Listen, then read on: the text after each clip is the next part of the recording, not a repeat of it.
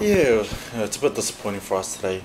Uh, we wanted to go out there and, and, and win, and, and we didn't do that today. And um, you know, we'll take some positives, but you know, we really need to work on you know our kicking game and, and everything everything else. So hopefully we can bounce back next week and um, you know enjoy our, our time with our families now uh, during Christmas and come back stronger the errors that maybe cost Saints the game in Quins' favour, were they self inflicted or did Quins come here and do a good job on you? Well, you know, these tight games, yeah, the bounce of the ball goes um, can cost the, the team the game. So, um, you know, they they went wild today and they scored their points when, when needed and, and we didn't. So, uh, we kicked a bit aimlessly today and, you know, they kind of they did wild to, to, to kick it back down. So, um, there's a lot of positives we can take out out of this game, and you know we can we can bounce back.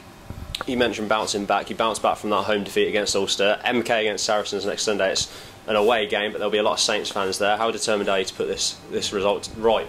Well, you know, we're really determined. Yeah, uh, we don't want to be known as that, that kind of sometime team. You know, we want to be a consistent team, and for us to to win some silverware this year, we need to we need to bounce back and, and really push on from this and and learn from mistakes. The weather helped a lot in, uh, in our downfall today. I think we weren't as sharp as, uh, as we were last week. Um, but it's no massive, no massive if uh, errors, no reason to push any panic buttons. Uh, we weren't on top of it today, but it's, uh, it will get right. Would you say it was just those little errors, maybe the, the handling, a few little kicks that Quins did slightly better than the Saints? Yeah, there weren't a lot of differences differences between the two teams out there. It's uh, just 50-50 balls and calls went their way uh, and that's, that made the difference. That's why it's so a low scoring game.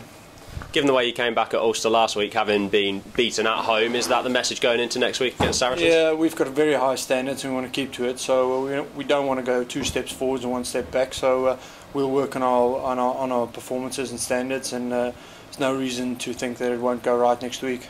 Looking at that Saracens challenge, it's another top four battle. They won well today. Um, a side that came here and won earlier in the season. Is that extra motivation, I guess? Yeah, there will always be motivation. I mean, uh, like I said, there's very high standards, so uh, we'll always want to be on top, and uh, that's going to give the fire to go forward.